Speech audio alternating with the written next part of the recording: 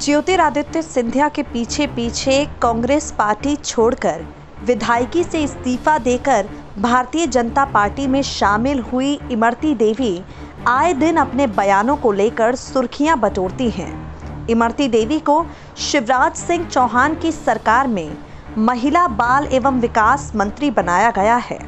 इमरती देवी, उपचुनाव में अग्नि परीक्षा देंगी। उपचुनाव में कड़ी परीक्षा इमरती देवी की होने वाली है, जहाँ एक तरफ़ वो अपनी जीत को लेकर पूरी तरह से आश्वस्त हैं, वहीं दूसरी तरफ़ एक बार फिर से इमरती देवी ने कमलनाथ सरकार को खरी खरी सुनाई है। बीते दिनों गुना ज़िले में हुई घटना पर अफसोस ज़ाहिर करते हुए इमरती देवी ने कहा, दोषियों को कड़ी सजा मिलेगी।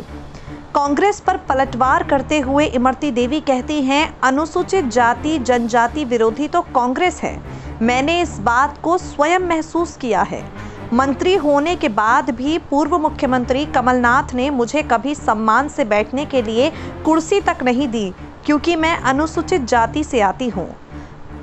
अनुसूचित जाति, जनजाति वर्ग पूरी तरह से भाजपा के साथ है। भाजपा ने वास्तविकता में इनके हित में कई कार्य किए हैं, जिसका परिणाम उपचुनाव में सभी को मिल जाएगा। ये आवास भाजपा सरकार ने दिए हैं। कमलनाथ से इमरती देवी सवाल करती हुई कहती है, कांग्रेस स्वयं को वोटों के खातिर दलित हितैषी बता रही है।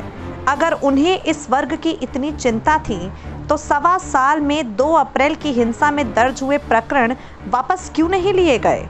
दिग्विजय सिंह के स्थान पर फूल सिंह बरैया को राज्यसभा क्यों नहीं भेजा? गुना की घटना के बाद सीएम शिवराज सिंह चौहान तत्काल एक्शन लेते हुए एडीजीपी कलेक्टर व एसपी को हटा चुके हैं। दोषियों के खिलाफ कार्यवाही करने के लिए उच्च स्तरीय कार्यवाही की जा रही है। प्रदेश कांग्रेस के कार्यवाहक अध्यक्ष रामनिवास रावत ने भी मीडिया से चर्चा करते हुए भाजपा को अनुसूचित वर्ग विरोधी करार दिया।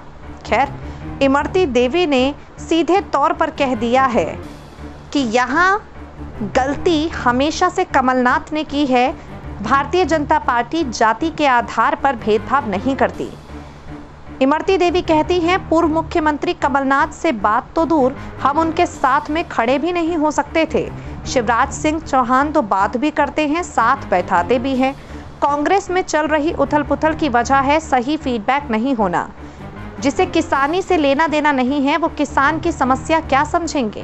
पुराने मुख्यमंत्री यानी कमलनाथ अच्छे होते तो क्यों छोड़कर आते? नए मुख्यमंत्री अच्छे हैं, इसलिए हम भाजपा में आए हैं।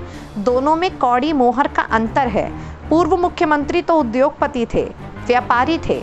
उन्हें फ़र्क नहीं पड़ता था किसानों से छोटे व्यापारी की समस्या से। लेकिन नए मुख्यमंत्री यानी शिवराज सिंह चौहान किसान के बेटे हैं। वो अच्छे से जानते हैं। हम कई बार उनके साथ बैठे हैं, वो अच्छे हैं। S P N nine news room से मेघा की रिपोर्ट।